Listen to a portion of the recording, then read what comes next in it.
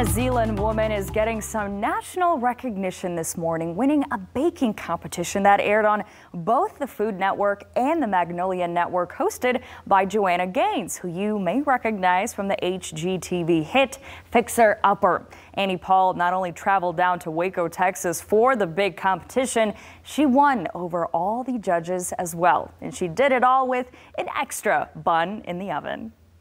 Five, four, There's nothing like feeling the pressure of a countdown at a high stakes baking competition. But Zeeland baker and owner of AP Baked Goods took that pressure and thrived at the first ever Silos baking competition in Waco, Texas.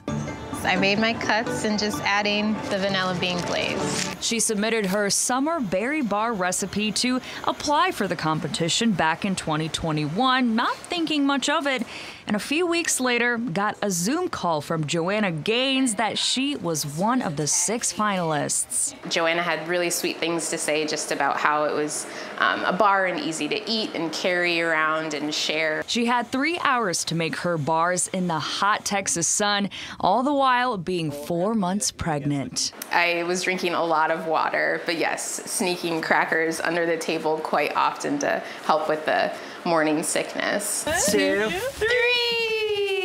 She said what helped her through was the support from her husband Joe and knowing her little girl Etta was watching mom live out her dream. I was just so excited uh, for her, for how much work she puts into the craft family was the determination Annie needed.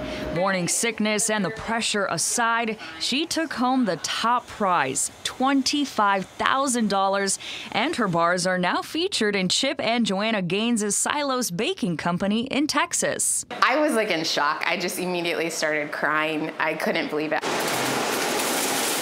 Now back in Zeeland, Annie says her bakery's busier than ever before, working to fill those berry bar orders and also brainstorming of ways to give back.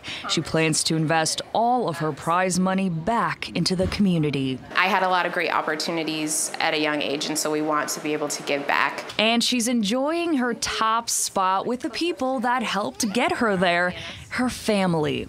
Yay! Yay! and um, so she cute. Annie does take wholesale orders, so okay. you guys are in luck. She can do that both on her Instagram and on her website. She says she's absolutely elated with all the yeah. new attention she's been getting. She's been super busy. She hopes to expand, get some new ovens, just get more orders going, and then she is pregnant and is due in September, okay. so Etta will have a, a big or a little sister. A busy little pregnancy there. just going to Texas, winning a massive competition, and it's those. Okay, but those bars. Those berry bars. You brought them back, and I wasn't mm. here for them, and I heard they were so They're good. amazing. All right. Congratulations to her. Yeah.